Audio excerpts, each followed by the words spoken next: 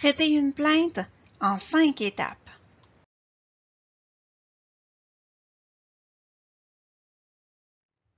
Étape 1.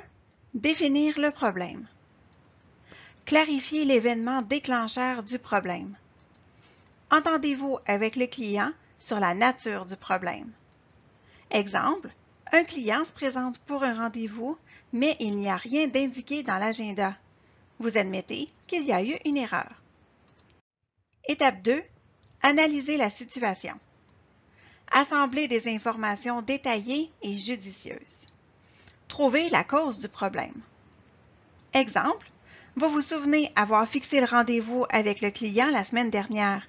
Vous mentionnez alors au client que c'est une erreur de votre part. Étape 3. Offrez une solution. Offrez au client une solution qui lui conviendra. Par exemple, vous proposez au client de glisser le rendez-vous entre deux rencontres ou de reporter le rendez-vous à une autre date. Étape 4. Exécuter la solution. Avisez les personnes concernées par ce changement s'il y a lieu. Effectuez les actions nécessaires pour appliquer la solution. Par exemple, vous avisez votre patron de votre erreur et glissez le rendez-vous du client entre deux rencontres. Étape 5. Faites un suivi. Assurez-vous que la solution au problème a bien été appliquée.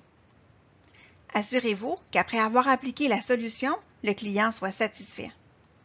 Exemple, quand le client reprend un rendez-vous, assurez-le que vous l'avez bien noté dans l'agenda. Appelez le client la veille de son rendez-vous pour confirmer sa présence.